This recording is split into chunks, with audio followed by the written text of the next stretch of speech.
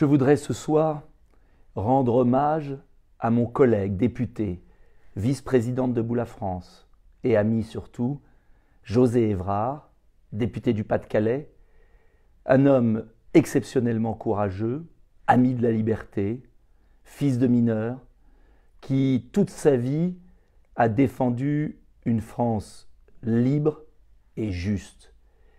Cet homme, mon ami, est mort hier soir du Covid. Je pense à lui car euh, c'était un homme exceptionnel, euh, ancien communiste qui a découvert euh, bah, l'escroquerie du communisme et qui ensuite nous a rejoints, qui à l'Assemblée défendait toujours la liberté, qui a fait partie de toutes les manifestations, qui était un pilier de debout la France, qui était un grand humaniste, un grand résistant dans l'esprit, euh, son grand-oncle avait été fusillé à la citadelle d'Arras. Euh, bref, l'histoire de France, l'histoire de ce bassin minier, de cette alliance de la patrie et de la justice sociale. Un homme qui avait un idéal incroyable. Il est mort à 76 ans du Covid, tout en étant vacciné. Et euh, ce qui est abominable, au-delà de sa mort, et je veux en parler, c'est que trois minutes après son décès, hier soir, il faut que vous sachiez que j'étais assailli de coups de téléphone de journalistes qui pensaient que parce qu'il travaillait avec moi, parce qu'il défendait la liberté d'expression, parce qu'il avait manifesté contre les passes sanitaires puis euh, vaccinaux, ils étaient persuadés, ces chiens, que José Évrard n'était pas vacciné. Et donc, à peine était-il disparu que tous ces chiens d'une presse aux ordres m'ont appelé pour savoir tout de suite est-ce qu'il est vacciné Parce que s'il n'était pas vacciné, c'était l'occasion inespérée pour eux d'instrumentaliser sa disparition au détriment de ceux qui défendent la liberté. Imaginez ma douleur quelques minutes après avoir appris la disparition de José Évrard, imaginez ma douleur de voir des journalistes, des journalistes, des chiens, qui voulaient savoir si, par hasard, il n'était pas vacciné comme moi, et qu'ainsi on pouvait m'accuser et accuser tous ceux qui sont contre euh, le pass euh, vaccinal, eh bien de sa mort. Imaginez ce que ça veut dire. Imaginez où en est notre société? Où en est notre société? À peine quelqu'un disparaît, on lui pose la question.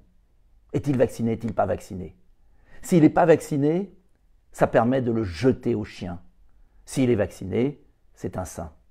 Mais ça veut dire quoi cette société? Ça veut dire quoi cette société? J'ai refusé, je ne savais pas s'il était vacciné ou pas, j'ai refusé toutes les interventions. J'aurais pu dès que j'ai su par son fils qu'il était vacciné, j'aurais pu aller à la télévision. J'aurais pu en faire un argument, moi aussi. Mais je trouve ça trop ignoble, trop abominable. Qu'est devenue notre société? Emmanuel Macron et ses chiens veulent instrumentaliser tout, diviser tout.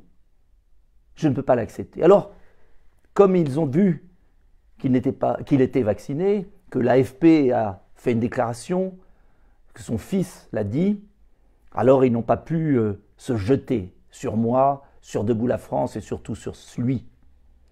Mais alors ils ont inventé une autre fable maintenant sur les réseaux sociaux, que c'est moi qui lui aurais transmis, alors que je ne l'ai pas vu depuis le début décembre, que j'ai été isolé le 9 décembre, que je suis sorti le 21 décembre, et que José Évrard a commencé à avoir des symptômes le 24 décembre, sans m'avoir vu bien sûr. Pour vous dire où ça va, où ça va, où Macron et ses chiens sont prêts à aller. Discréditer, salir, instrumentaliser le décès d'un député. Tout ça parce que il combattait pour la liberté. Tout ça parce que il aimait la justice. Tout ça parce que il travaillait à mes côtés. Quelle société Dans quelle société sommes-nous? Alors moi, je ne ferai pas comme eux. Et je vous demande de ne pas faire comme eux. Mais en revanche, j'attaquerai en diffamation tous ceux qui salissent la mémoire de José Évrard. Parce qu'en salissant la mémoire de José Évrard, ils salissent la pensée, le libre arbitre des millions de Français qui, vaccinés ou non vaccinés, veulent continuer de vivre en liberté. Aujourd'hui, il y a eu des manifestations sous la pluie glaciale, mais je vous le dis, mes amis, la vérité, la vérité sur la plus grande manipulation de l'opinion jamais vue, et la liberté de la France et des Français triompheront un jour ou l'autre. Et nous ne devons rien lâcher. Et ce sera mon meilleur hommage à José Évrard qui nous regarde de là-haut, de lui dire que nous ne lâcherons jamais le combat de la liberté.